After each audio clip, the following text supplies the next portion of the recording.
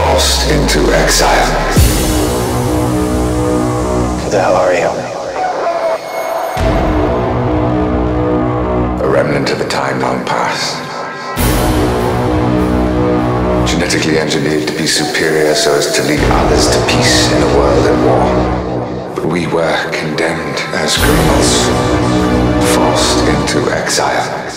For centuries we slept, hoping when we awoke things would be